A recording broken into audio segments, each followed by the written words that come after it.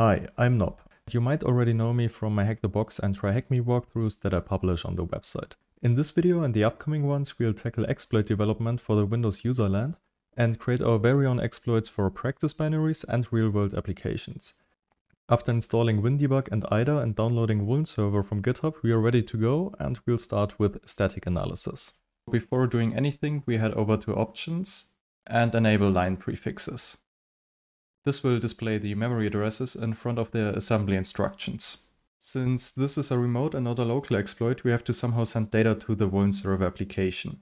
On the left side in the functions list, we can see an entry for the receive function, which belongs to the WinSock library.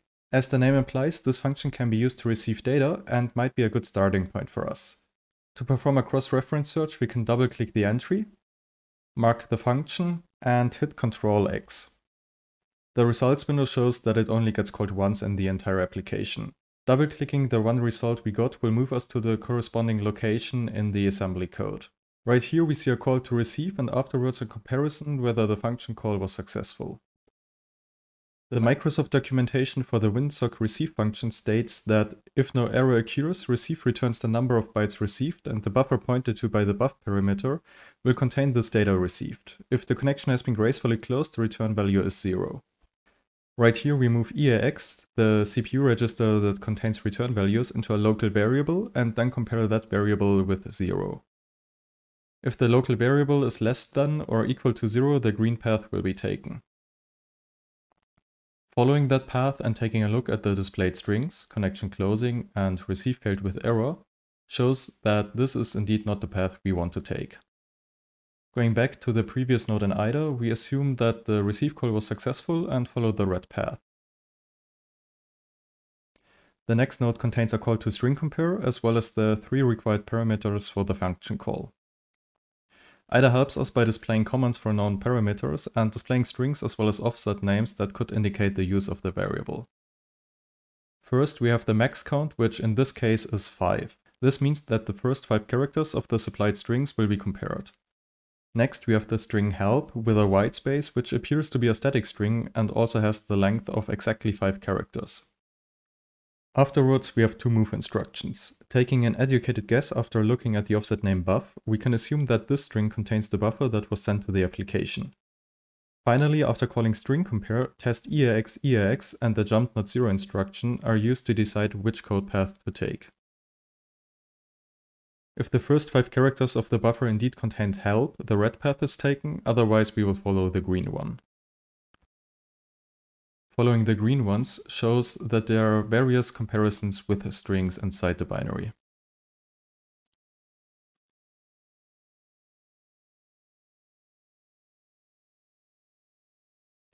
In this video we focus on the trun implementation. Assuming that we pass the comparison in the trun node, we follow the red path to a node that allocates memory using malloc and memset.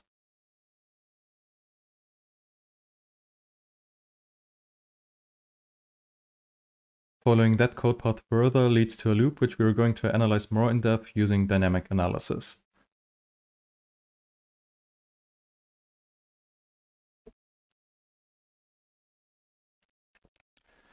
For now, it seems like it's moving through some kind of buffer and compares each byte with hex 2e, which corresponds to a dot in ASCII text.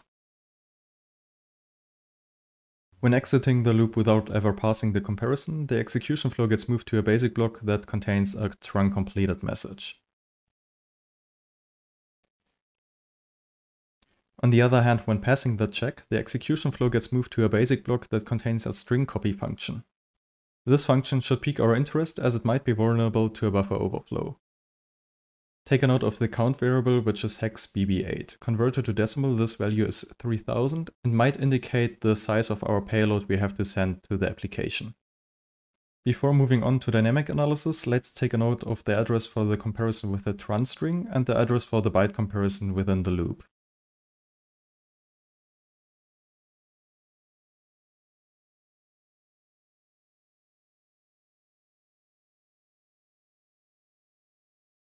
For the dynamic analysis, we are going to start WinDebug and open the application.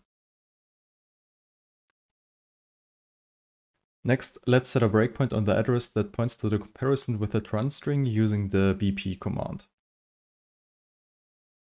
After doing so, we can resume the execution with g. Switching to the Linux machine, I prepared a Python script that sends the woot string to the application. In this case, the first command line argument is used to provide either an IP address or a host name. After executing the script and moving back to the Windows machine, we can see that the breakpoint at the string compare function got triggered. In the disassembly window, we can see the function arguments being moved around. First, we got the max count, which is 5, moved to ESP plus 8. Next, something static is moved to ESP plus 4. We can assume that it's something static like a string because of the naming offset, vuln server plus offset. Finally, we got something moved into EAX from EBP minus 10 and then moved into ESP. Using the DA command, which dumps memory in ASCII format, we can take a look at ESP and ESP plus 4.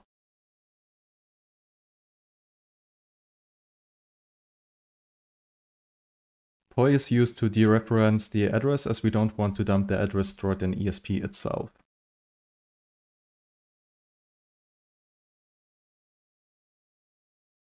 The output shows that the first five characters of our woot string are being compared with trun.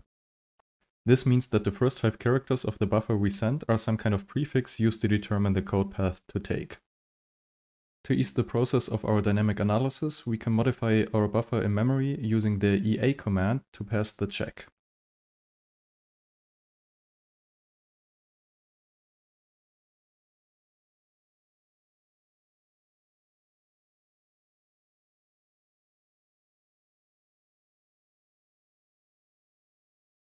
Before resuming the execution flow, let's set a breakpoint at the byte comparison inside the loop we discovered earlier.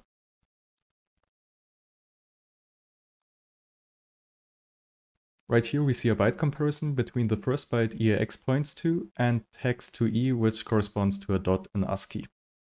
Since we already know what hex 2e is, let's take a look at what EAX points to to reveal the other part of the comparison.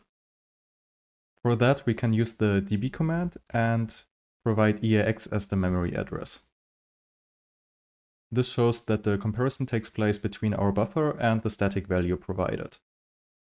Essentially, this means that if we want to reach the string copy function, our buffer has to contain a dot. For now, we can clear all breakpoints and resume the execution flow. Going back to our Python script, we can set the prefix, add a dot to our buffer to pass the check, and create a pattern string.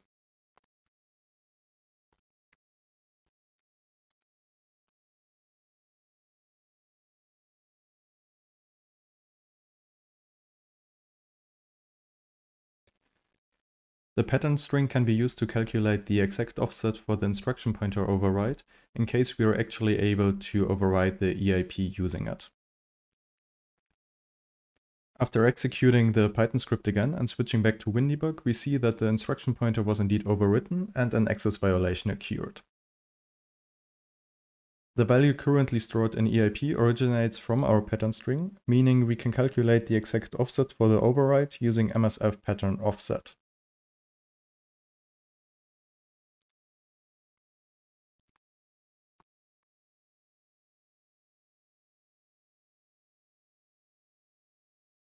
After finding the offset for the EIP override, we have to check for potential bad characters. Bad characters are characters that somehow mangle your buffer or shellcode. One common bad character would be the null byte, which acts as a string terminator. Other common ones would be hex 0a and hex 0d in web applications, as they represent the carriage return and the new line character. To check for such characters, we simply send each character from 00 to FF to the application. Since we can assume that the null byte is a bad badger, we can skip that one. Before executing our Python script, we have to restart the application in WinDbg and resume the execution flow.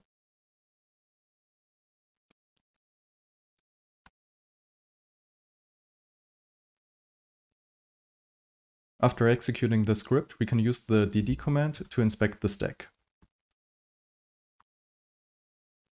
The option L40 describes the amount of bytes we want to dump from the stack.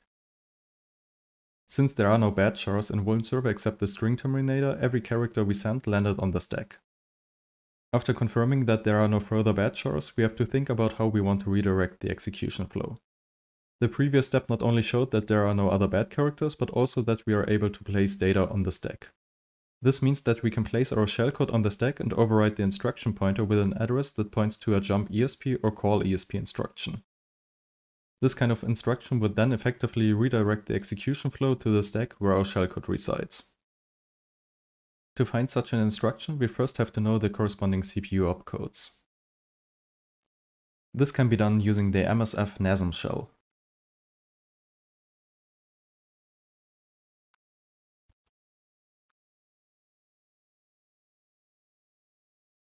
Back in WinDebug, we can list all modules used by WounServer using alam. Since the address of the WounServer binary starts with 00, we cannot look for an address here. Remember that 00 equals the string terminator, which is a bad character. sfunc on the other hand does not start with a null byte, so we can search in its address space instead. This command will iterate through the memory and look for the byte sequence FFE4. We can take the first address and replace our EIP variable in the Python script with it.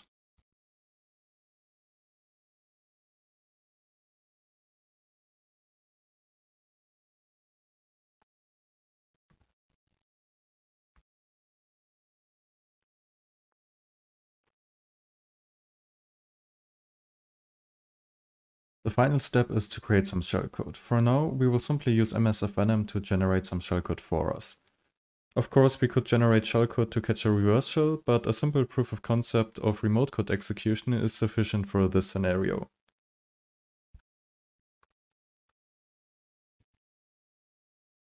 We use the windows slash exec payload with the cmd argument set to calc.exe to open a calculator. We also specify the bad characters found, which in this case is only the null byte.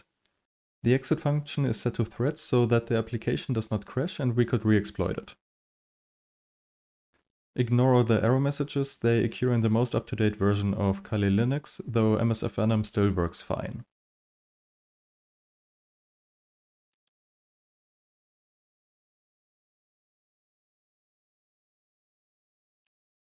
Before executing our final version of the exploit, we have to prepend a bunch of knobs to the shellcode. Since the shellcode was encoded to get rid of the specified bad character, a decoder stub was added to the shellcode. Those knobs are basically just for the decoder stub to have some place so it doesn't overwrite anything on the stack.